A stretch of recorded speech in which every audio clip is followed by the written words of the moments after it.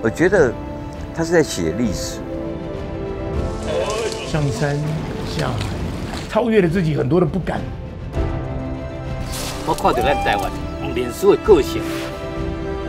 二十年来，阮写过台湾超过三百年，甲领导人用千万粒镜头记录五万外的咱上水的故事。这二十年来，我看到台湾真济拍拼。我来喽！这个这个记录是不断的在走。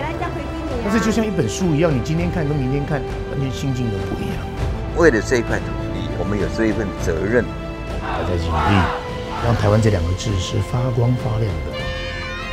未来不论世界安怎改变，咱来继续用爱甲热情来为这片土地打拼。后明仔载比今仔日更较好。斗阵拍拼二十冬，小恁小听一世人。